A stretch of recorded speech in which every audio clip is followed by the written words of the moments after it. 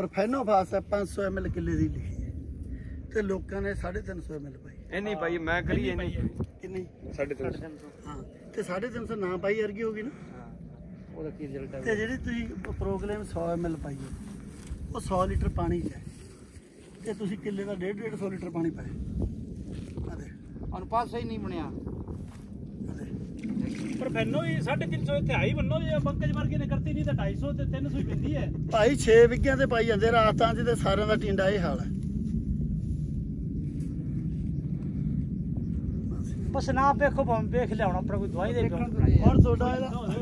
ਕਿੱਲਾ ਥਾ ਹੈ।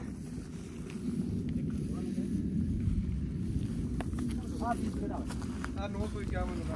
ਤੁਹਾਡੇ ਦਾ ਕਿੰਨਾ ਵੱਡਾ ਜਿਹੜਾ ਫੁੱਲ ਅਗਲੇ ਆਉਣੇ ਆ, ਉਹ ਆਏ ਆਉਣੇ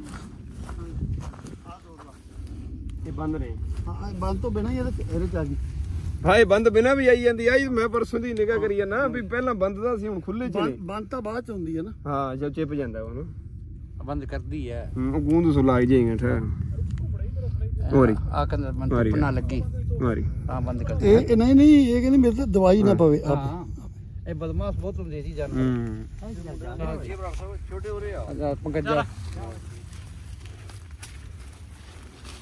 ਜਾ ਮੇਰੇ ਖੇਤ ਮਨ ਤਾਂ ਨਹੀਂ ਦੇ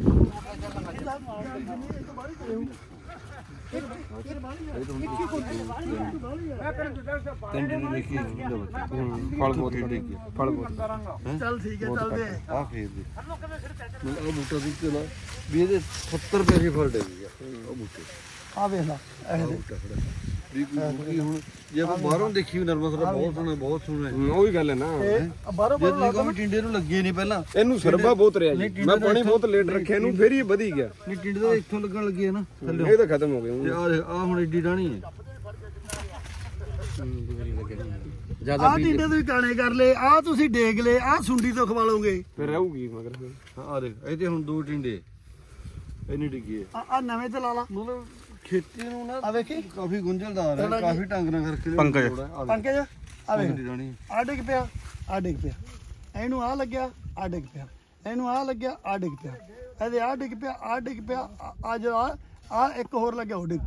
ਹੋਰ ਕਿੰਨੇ ਕੁ ਲੱਗਣਗੇ ਜੀ? ਬਸ ਇਹਦੇ ਵੇਖ ਇਹਦੇ ਵੇਖ।